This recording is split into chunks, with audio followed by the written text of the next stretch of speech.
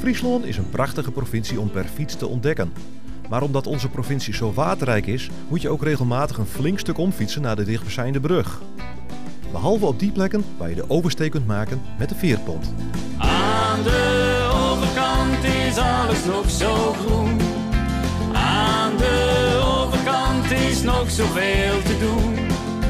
Aan de overkant kan alles nog en ligt het avontuur ons te wachten. Op ons te wachten. De campinggasten van Ine Leijten die even het dorp Grauw willen bezoeken, kunnen natuurlijk op de fiets of met de auto over het saaie industrieterrein naar het dorp toe. Maar ze kunnen natuurlijk ook het pontje nemen van gastvrij Grauw.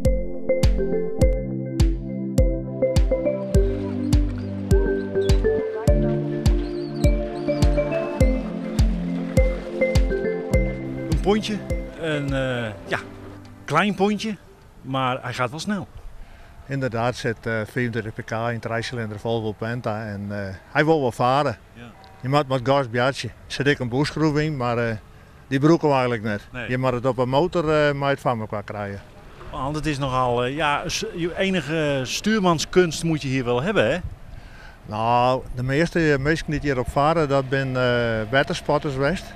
En die kunnen al eh, vrij goed varen. Dus eh, op zich gaat het heel goed. Er gebeuren eigenlijk nooit geen ongelukken. Geen ongemakken of zo, onervaringen. Je eigenlijk, eh, neem je dat, zeemansschap, daar moet je een beetje aan houden. Dus eh, dat gaat groot op zich. Daar kan u zich aan houden, maar eh, niet elke ander die, eh, die vaart is zo ervaren als jullie het zijn. Dat klopt inderdaad. Ik ben dus, eh, dan moet ik even om in welke richting wij uitvaren gaan en eh, wat, wat de bedoeling is. En dan eh, reageren ze vaak wel positief dat ze de goede kant uitvaren of ze stap je even. Of... Nee, dat gaat heel goed op zich. Want er is een vrij druk hoekje hier, want het is staan de mastroute naar uh, Lauweta.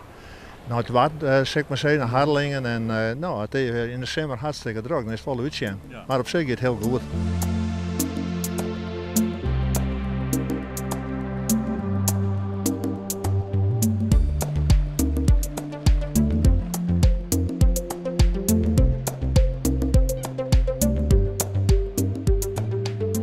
Het pontje is ook redelijk nieuw, geloof ik, hè? Inderdaad, het vat van eh, dit hier voor het eerst. Het is eh, dit hier in de vaart kwam in april. We gingen hier eerst een eh, proef met een pontje, dat weer een liedste pontje. Dat weer gewoon een man of size op. Dat weer een pontje met wat droogers en een aanhangmotor erachter. Maar de oerbrenging, dat, dat, dat stijgt elke keer weer. We zitten nu rondom de 10.000, 11.000 mensen. En we ben- we begonnen met 4.000. Dat is heel positief. En op die basis hebben we dus, hebben ze dus van grauwe gastvrijheid zijn van de aan we een groter pontje krijgen. Grauw gastvrij, dat doet er echt alles aan hè, voor de toerist. Inderdaad, grauwe eh, gastvrij is heel actief op alle gebieden. Je houdt ook een hele mooi eh, boekje, folder, dat alles in staat. Hoe grauw, hoe het oudheden en hoe de pontjeroute en hoe het scootjeszil. Een hele agenda staan erin. Nee, dat is eh, super.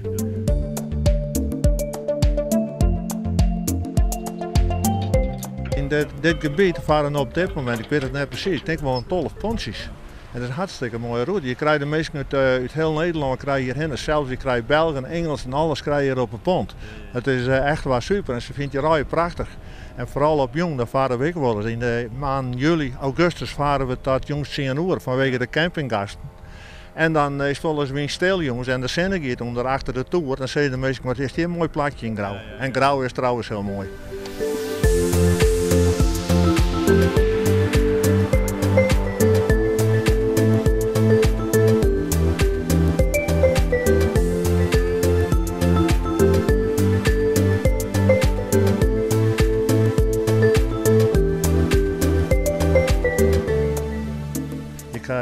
Verschillende mensen eh, aan boord.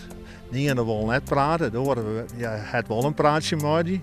Nee, het is heel, en mensen vinden het heel leuk. Mensen gaan goed zijn. We hebben het waar, we hebben hoe de wien. We hebben het mooie waar en het minder waar. Als ik zo achter me zie, dan ja, het gaat zoals vandaag ook weer de hele dag door. Hè? Ja, inderdaad, het druk duurt de hele dag terug. Ik denk dat ik nog op een eh 74 oerzettingen zit.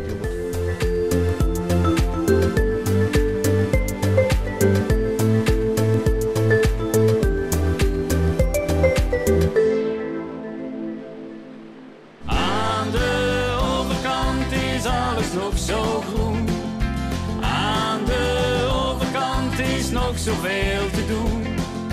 Aan de overkant kan alles nog en ligt het avontuur op ons te wachten.